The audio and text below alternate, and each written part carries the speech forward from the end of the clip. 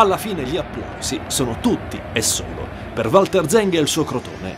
San Siro sponda Inter riabbraccia l'uomo ragno e fa i conti con l'ennesima giornata, serata nell'occasione, no, dei nerazzurri. La squadra di Spalletti continua a masticare amaro in campionato, non vince da otto partite e al termine della gara viene coperta dai fischi. Il merito è tutto del Crotone che va sotto a gol di Eder nel primo tempo, ma non si scompone. Con calma i pitagorici riacciuffano il pareggio, rete di Barberis, la seconda in tre partite, e si permettono il lusso di far venire brividi alla retroguardia nerazzurra nel finale.